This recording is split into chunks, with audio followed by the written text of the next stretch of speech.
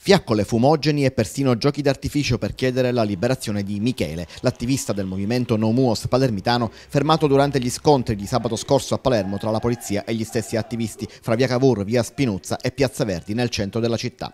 I disordini si erano verificati in occasione del corteo organizzato da associazioni di destra, la rete No Muos boicottato dal sit-in del movimento No Muos di estrazione di sinistra. La contrapposizione tra i due fronti di protesta contro l'impianto militare di comunicazione satellitare in costruzione nella base USA a Niscemi era già emersa con chiarezza nei giorni precedenti. Circa 200 giovani dei centri sociali guidati da quelli del centro Anomalia oggi si sono dati appuntamento davanti al carcere palermitano del Luciardone per riscenare la loro manifestazione.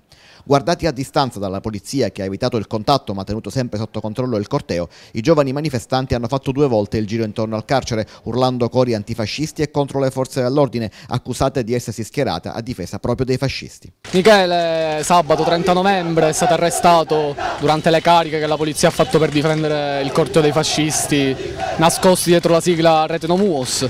Il movimento Nomuos e gli antifascisti palermitani sono scesi in piazza per eh, smascherare quella, quella pagliacciata. È Michele che da sempre si batte in questa città per mantenerla appunto libera dal fascismo e dai fascisti. È stato prima caricato a freddo dalla polizia e poi mentre si opponeva alla brutalità appunto della polizia in quella piazza è stato fermato da quattro agenti della Digos che l'hanno dapprima malmenato in strada e poi appunto arrestato e tradotto qui al carcere Luciardone dove attende ancora convalida dell'arresto che insomma dovrebbe essere domani con l'udienza alle 9 di mattina. A Palermo il fascismo e i fascisti non sono ben accetti, non possono sfilare impunemente per le strade della nostra città. La manifestazione durata circa un'ora si è poi sciolta, ma i giovani di Anomalia si sono dati nuovamente appuntamento per domattina alle 9 per proseguire la loro manifestazione in attesa della liberazione di Michele.